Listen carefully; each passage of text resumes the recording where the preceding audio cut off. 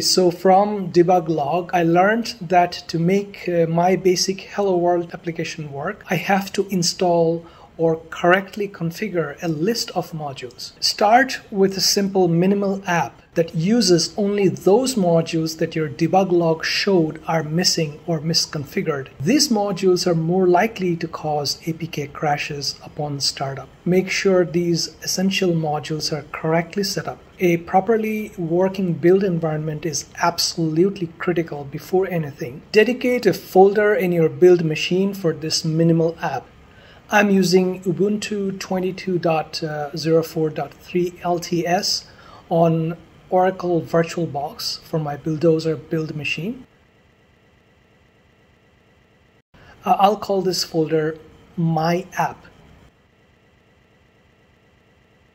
It should contain Python script for my basic app and uh, any other uh, files that it needs.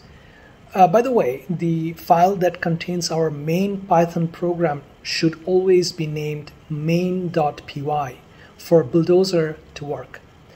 My basic app, main.py, requires a Kivy design file for uh, graphical components. It is named My Simple App. Ensure the case and naming of this Kivy design file follows Buildozer requirements. Other than main.py, and mysimpleapp.kv, there is another file in my app folder, buildozers.spec, which was generated after Buildozer was initialized.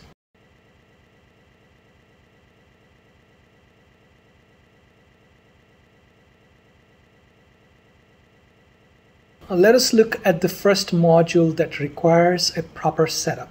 It deals with imaging functions which are important for the graphical interfaces of our app.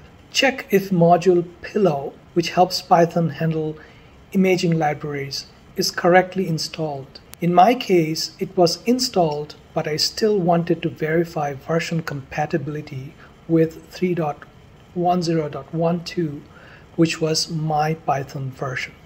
Version compatibility is available here to check the Pillow version installed, run the command as shown on your screen.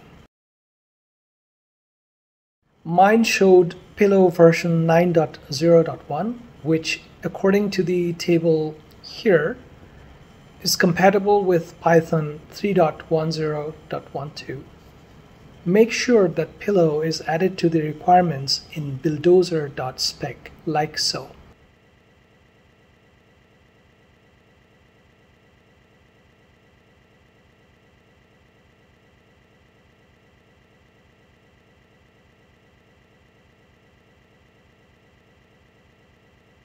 Next, uh, we need to install Kivy. Uninstall all Kivy related libraries you already have installed. Use a virtual environment for the new install wherever Kivy documentation recommends this. I strongly recommend understanding virtual environments before installation. Uh, maybe you want to read up this and this.